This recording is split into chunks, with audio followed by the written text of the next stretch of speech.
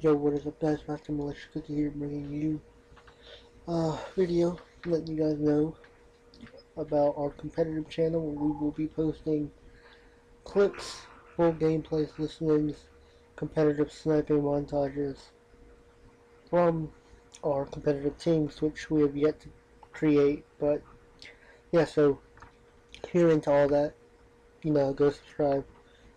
And if you're not check it out. And, you know subscribe if you like it. So, here's a clip from Team Scream the Wall back, and what it is is that we, it was the 4v4 Team Scream, and right here, I was, what, what the basic, what basically what the clip is, is that I almost touched it. You're the only one But left. if I would have got one more hitter with the pistol, I would have gotten it, but I didn't, so I lost it. Still, it's a pretty great clip.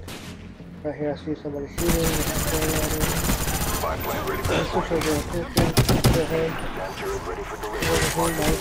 One more left. Pick up this stick. So he didn't do it, then it would have been great. So yeah, guys, if you're interested, go check it out. Peace.